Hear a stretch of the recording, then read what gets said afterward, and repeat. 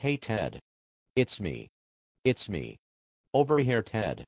Ted over here. Whoops, where'd I go? Hey there Teddy my girl.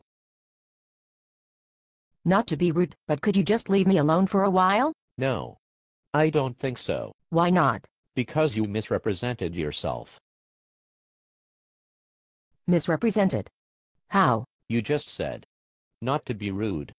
Then you went ahead and were rude. In the very same sentence. I just meant I'm very busy, and I need to concentrate. What if I said, not to be rude, but your ass is fat?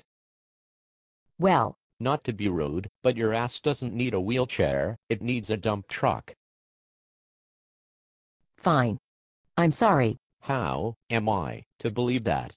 You might be in the middle of another of your famous misrepresentings. I'm not. Misrepresentings? I think you mean misrepresentations. Bitch mouth.